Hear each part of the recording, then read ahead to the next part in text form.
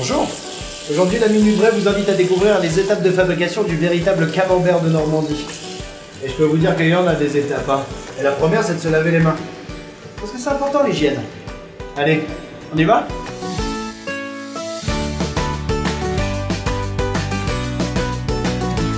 Après que le lait ait été maturé, la première étape du moulage, c'est l'emprésurage. C'est une technique qui consiste à mélanger avec le lait de la présure afin de le solidifier et d'obtenir un caillé. Ça, c'est l'instrument du sabrage. Ça permet de découper le caillé afin de faciliter l'égouttage et le moulage.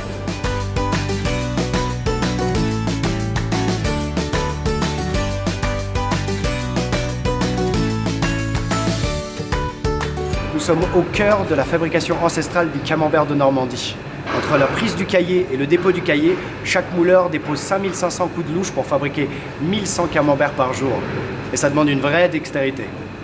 Pour faire un camembert, c'est quand même 5 coups de louche espacés de 50 minutes chacune pour pouvoir permettre l'égouttage.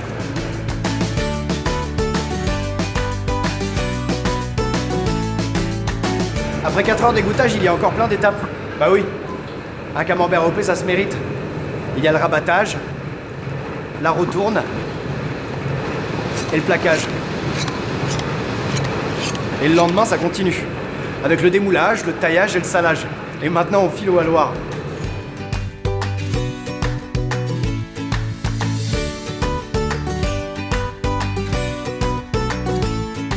Après le salage, les camemberts reposent pendant 14 jours dans les haloirs.